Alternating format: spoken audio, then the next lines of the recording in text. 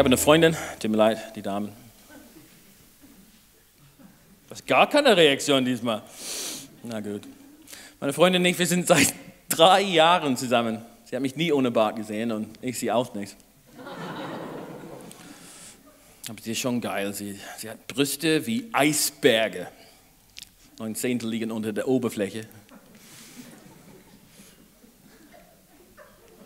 Sie sie ist flachbrustig und ähm, das passt mir perfekt, denn ich bin laktoseintolerant. ähm, sie hat ein Arschgeweih.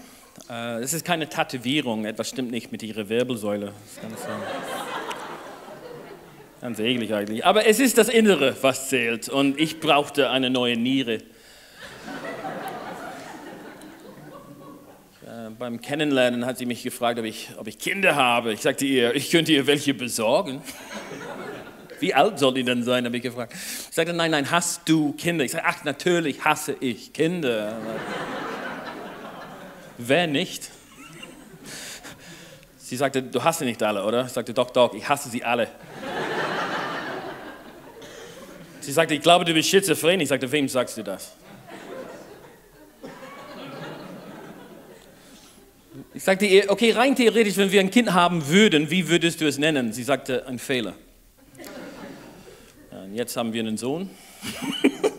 er ist nicht von mir. Er ist auch nicht von ihr. Wir wissen nicht, wem er gehört. Ja, meine Freundin hat ihn im Park gefunden. er ist ein ganz, ganz lieber Junge. Äh, naja, ich sage Junge, er war schon 30, als wir ihn kennengelernt haben.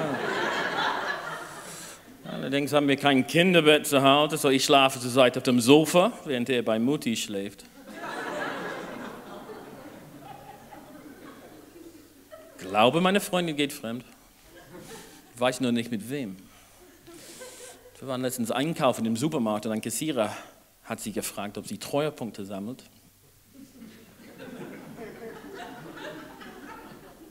Und sie hat ihn ausgelacht. Ich habe sie gefragt, warum sie beim Küssen die Augen nicht mehr zumacht. Sie meinte, weil sie sich mittlerweile an mein Aussehen gewöhnt hat. So, so Leute, das war's von mir. Vielen herzlichen Dank.